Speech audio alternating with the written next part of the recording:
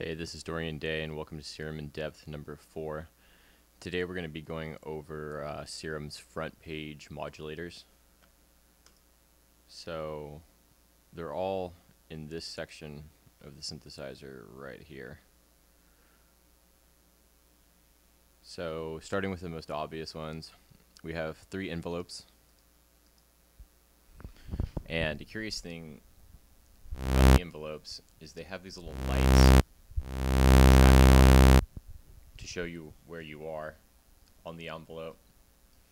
And if you activate more than one at a time,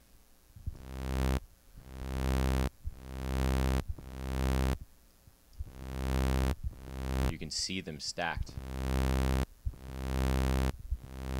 behind each other for easy visualization and help line things up. The envelopes overall are pretty simple. You just have attack, hold, decay, sustain and release, and then these controls for the view. This locks it to the envelope, so you always see how it looks, and you can adjust the uh, curves easily. And then this is for long range views, zooming in and out. Next we have the LFOs.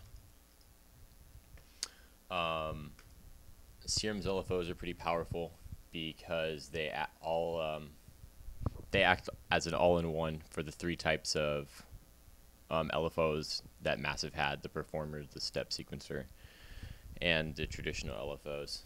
So you can see right here, we just have a standard si or triangle wave.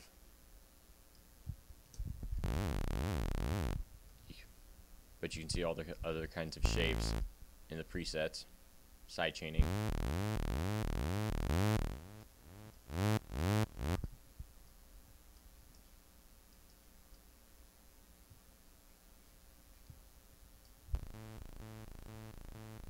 And then you can turn it into a step sequencer holding shift and clicking.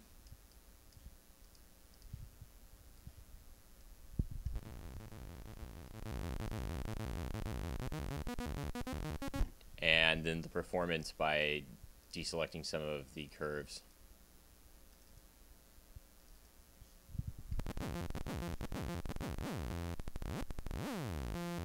You can change the grid size to have more fine details.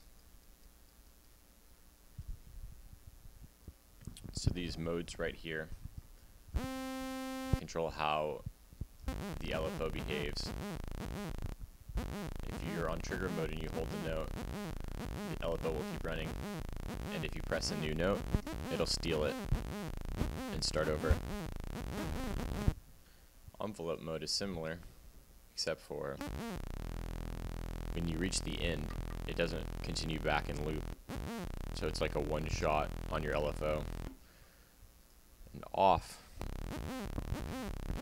the LFO is continuously running. So whenever you press a note, it grabs from wherever it is running in the background.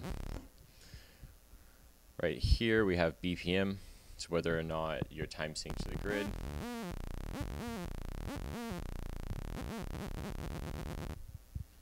Anchor only works with BPM. And what it does is it makes sure that any changes you make to this knob are synced to the grid so that you don't get any odd time changes. With anchor off, you can change instantaneously. You get all kinds of weird glitch sounds, but this is a little more smooth controllable. Triplets put you in triplet time, or add triplet time in. Same with dot. Rise sets a time um, that it takes for the LFO to have full influence.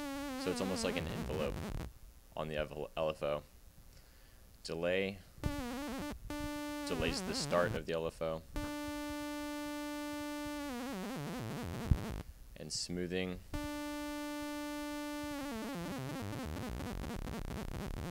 is almost like portamento on uh, the LFO. It makes it uh, smooth instead of these sharp corners. Makes it, I guess, probably look more like a sine wave. Next we have velocity scaling. It's incredibly simple. It's pretty much how hard you're pressing your notes, but it allows you to scale it. Not many synthesizers have this. Uh, at least the curve, that is.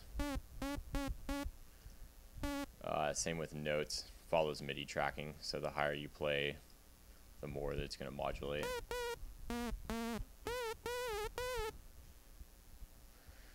Then over here we have the mod wheel. So uh, connects to the mod wheel on your MIDI keyboard. And then we have the macro controls, like in Massive.